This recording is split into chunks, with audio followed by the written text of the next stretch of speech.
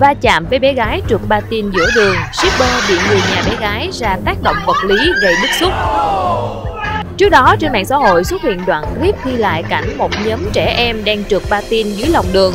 Sau đó một bé gái bất ngờ chuyển hướng sang làn đường đối diện, khiến nam shipper đang di chuyển không kịp phản ứng nên đã va chạm phải vào cháu bé.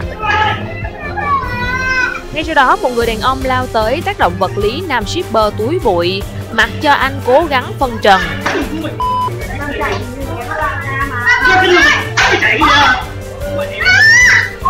Sự việc khiến nam tài xế bị trầy xước, đau chân, bụng, tinh thần hoảng loạn. Đa số người xem clip đều bất bình với hành động của người đàn ông. Sau khi xảy ra sự việc, người đàn ông tác động vật lý shipper đã chủ động gọi điện thoại xin lỗi, muốn làm hòa. Nhưng gia đình nam shipper còn cân nhắc việc trình báo lên chính quyền do rất bức xúc. Tuy nhiên mới đây, theo thông tin trên báo Dân Trí, gia đình nam shipper đã chấp nhận giảng hòa.